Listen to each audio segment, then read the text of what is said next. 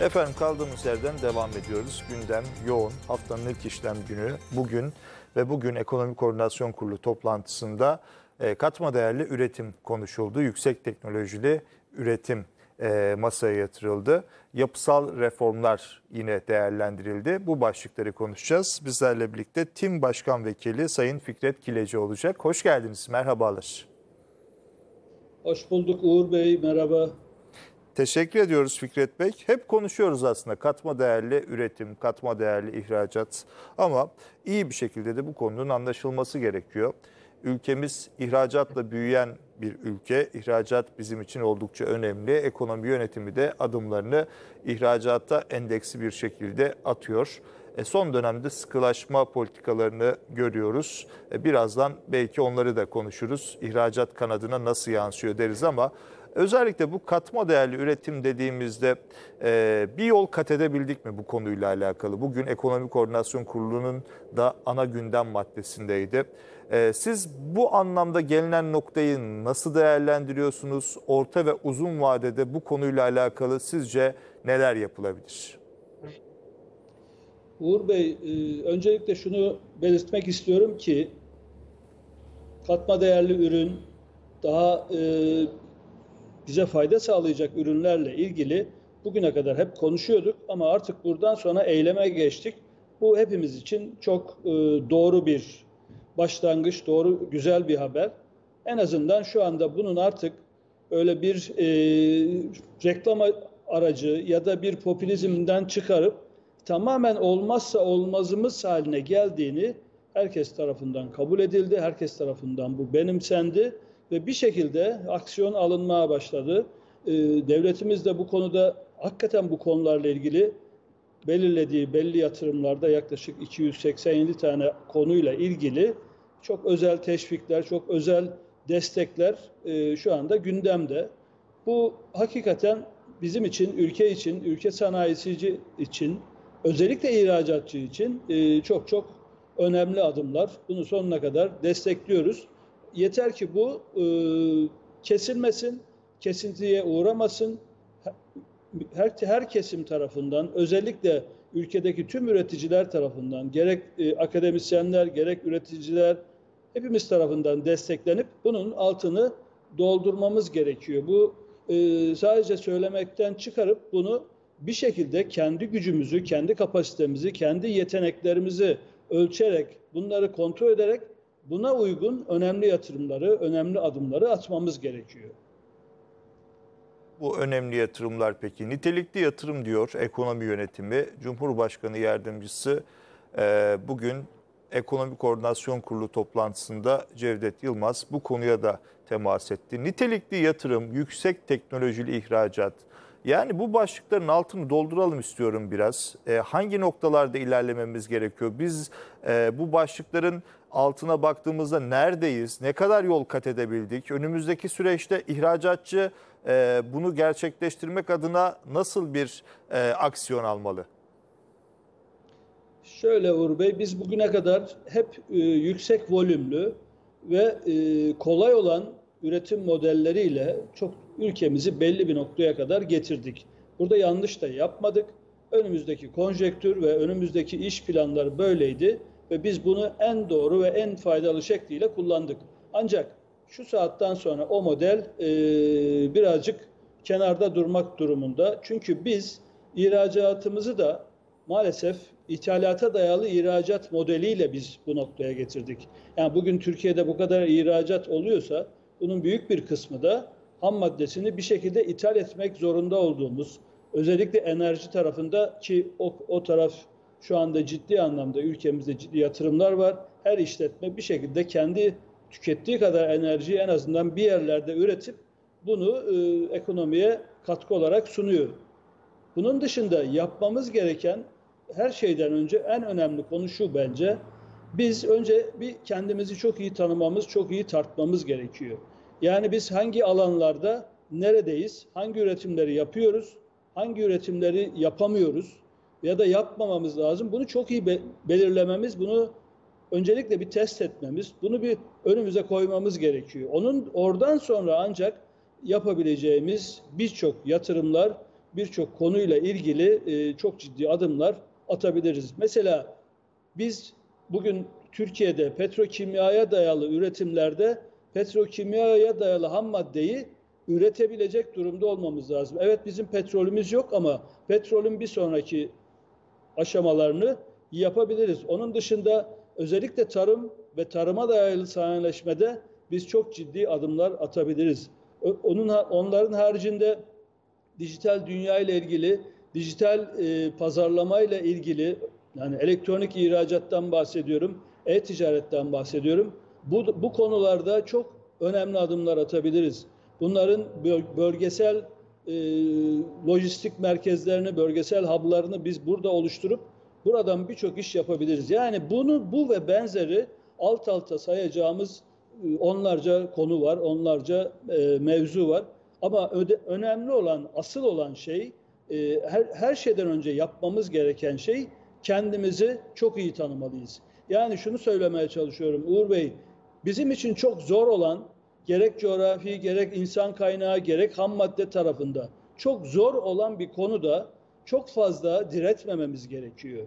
Yani bizim eğer ki bu sadece kendimiz içinse burada hiçbir problem yok. Ama biz bu üretimleri, bu ürünleri tamamen ihracata yönelik e, bütçe fazlası vermek için, gelir fazlası vermek için, ihracat için yapacaksak bu araştırmaları, bu tespitleri çok iyi yapmamız lazım. Bu gerek insan kaynağı, gerek coğrafi şartlar, limanlara uzaklık, e, bölgesel kümelenmeler, üretimler konusunda yani her e, üretimi her yerde yapmamamız lazım. Her işi her noktada yapmamamız lazım. Bu ciddi anlamda e, test etmeliyiz, araştırmalıyız. Zira inanın bana dünyada bundan sonraki süreçte en kıymetli şey kaynak biziz. Zamanımız, e, bir şekilde finans kaynaklarımız, bir şekilde doğal kaynaklarımız. Bunların hiçbirisi asla ve asla sınırsız değil, sonsuz değil. Bunların artık dünya sonuna gelmiş durumda. Biraz genelden özele doğru ilerleyelim mi? Ee, yeni ekonomi yönetimi yaklaşık bir yıl önce göreve geldi. Sıkılaşma politikaları uyguluyor. Ee, işte Mayıs bitiyor, Haziran'a geleceğiz. Hem siz bu politikaları nasıl değerlendiriyorsunuz? Geldiğimiz nokta bu anlamda sizce e, program işliyor sonucunu çıkartıyor mu? Hem de e, yine bu konuyla ilintili olarak ihracat hedeflerini de konuşalım. Politika faizi %50, mevduat faizi malum, e, kredi faizleri yüksek. Bir yandan sıkılaşma politikaları uygulanıp enflasyon düşürülmeye çalışılıyor. Diğer yandan büyüme de korunmaya çalışıyor ve elbette Türkiye üreterek büyümeyi hedefleyen bir ülke ve burada da ihracatın önemini hep konuşuyoruz. Tüm bu parametreleri nasıl değerlendiriyorsunuz? Geldiğimiz nokta bu anlamda sizce ne ifade ediyor? Özellikle çünkü geçtiğimiz senenin Haziran ayından itibaren sıkı para politikasına yönelik adımları konuşuyoruz ki artık yavaş yavaş bir yılı doldurmak üzereyiz. Alınan neticeleri e, siz nasıl değerlendiriyorsunuz?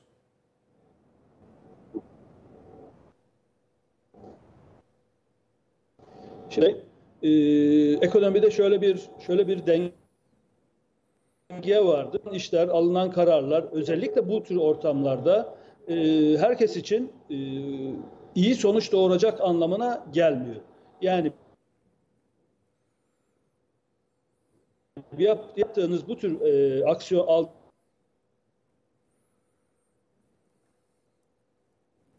aldığınız aksiyonlar, yaptığınız planlar ihracat rokinin ihracatçılarının ciddi anlamda e, zarar gören taraflardan birisiyiz. Çünkü bakın ihracat bu ülkenin en önemli çıkış noktası ve biz bütün planlarımızı buna göre yapıyoruz.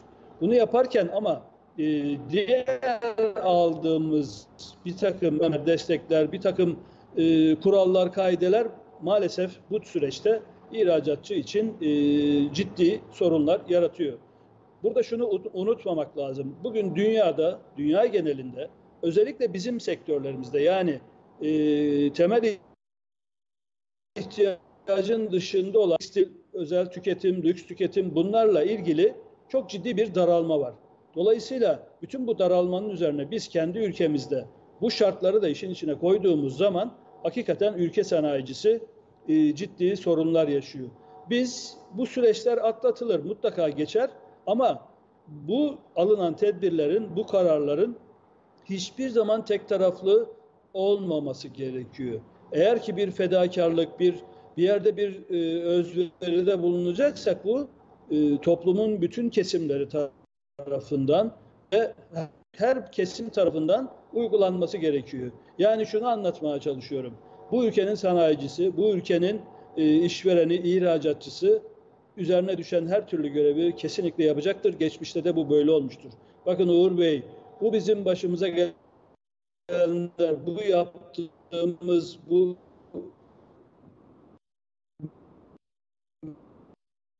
mücadele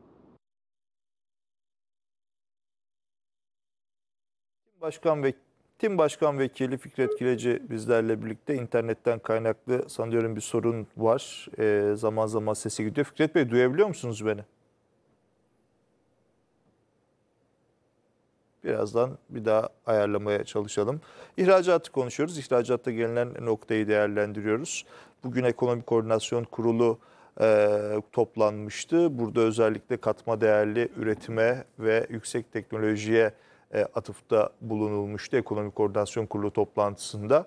E, burada ele alınan konuları e, değerlendiriyoruz. Ülkemizin ihracatçıları bu anlamda son dönemde hangi noktaları biraz daha ön plana çıkardı? Katma değerli ihracat adına neler yapılabilir? Elbette önemli bir konu. Malum büyüme verisini hafta içerisinde takip edeceğiz. İhracat özellikle Türkiye'nin büyüme kanadına da direkt etki eden bir alan ee, ki bu noktaları da konuşuyoruz. Skype'de internetten kaynaklı bir sorun yaşanmıştı. Telefon hattımızda bizlerle olmaya devam edecek Sayın Fikret Kileci. Fikret Bey duyabiliyor musunuz beni? Evet duyuyorum. Kusura bakmayın galiba internetin azizliğine uğradık. Siz Teknoloji hem çok iyi hem de böyle bazen insanı çaresiz hale evet, sokuyor. Maalesef. İsterseniz bu şekilde kaldığımız yerden devam edelim. Son cümlelerinizle yayınımızı sürdürelim. Buyurun. Şimdi e, bu alınan önlemler, e, bu kurallar, kaideler e, söylediğimiz gibi herkes için e, pozitif olmayabiliyor. E, burada biz de e, bir şekilde buna e, takılmış durumdayız ihracatçılar. Ama ben son olarak şunu söylemiştim. Biz Türkiye olarak Türkiye üreticisi, ihracatçısı topyekün bu tür olaylara bir şekilde alışığız. Çünkü biz hayatımız boyunca hiçbir zaman kolay işler yapmadık. Hep bir mücadele, hep bir coğrafi şartlarımız gereği üzerimizdeki bir takım baskılar vesaireler jeopolitik riskler bunlardan kaynaklı hep bir mücadele içerisinde geçmiştir. Ama biz inanın bana Türk sanayicisi, Türk ihracatçısı, Türk vatandaşı e, bu işlerle baş edebilir. Ancak bu bir şekilde eğer bir e, fedakarlık yapılacaksa bunun ülke çapında topyekün yapılması gerekiyor. Biz tek başımıza üreticiler, tek başımıza sanayiciler ya da tek başına kamu ya da tek başına devlet. Bunlar hiçbir şey tek başına olacak şeyler değildir. Hep birlikte yapmamız gereken, el birliğiyle yapmamız gereken ve bu zor günleri kolay atlatabilmemiz için hep birlikte çalışmamız ve fedakarlık etmemiz gerekiyor. Üstüne basarak bir daha söylemek istiyorum.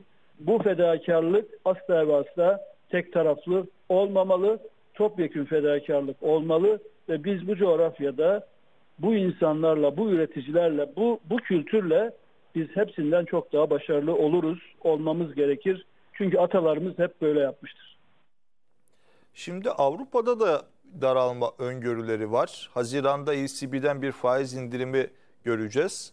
E, burada üretim aktivitesinin biraz yavaşlaması, faiz indirimleri sonrası paritenin biraz daha birde buluşmasına yönelik öngörüleri takip ediyoruz. Bu bizim peki e, ihracat kanadımıza nasıl yansıyabilir yılın ikinci yarısında?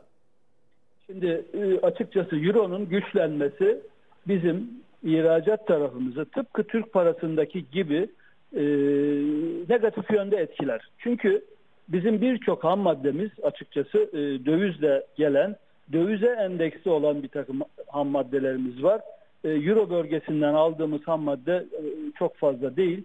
Dolayısıyla Türk parasındaki yaşadığımız problemi e, Türk parası karşılığı dövizdeki Aynısını Euro bölgesinde de yaşarız. Ama o tabii ki şu anki Türk parasıyla ilgili yaşadığımız sorundan daha küçük olacaktır. Şöyle söyleyeyim, bizim dövizle, kurla vesaireyle elbette ki bizim için çok önemli ama asla en önemli değil. Asla en önemli değil. Yani burada bunun dışında başka dinamikler de var. Yani biz doğru ürünleri doğru zamanda doğru şekliyle yapmamız gerekiyor. Şu an önümüzde çok ciddi bir fırsat var. Dü- Dünya döngüsel ekonomiyle ilgili ciddi e, dönüşüm halinde. Her tarafta bu konuşuluyor. Eskiden bu bir satış argümanıydı. E, sürdürülebilirlik, çevrecilik. Ama şimdi öyle değil. Şimdi olmazsa olmaz haline geldi.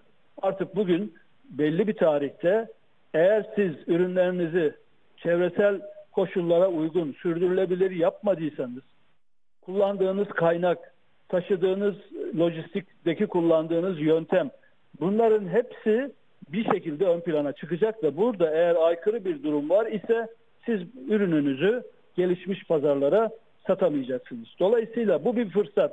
Bu dönüşümü Türkiye Cumhuriyeti'nin ihracatçısı, üreticisi ciddi anlamda faydasına çevirebilir.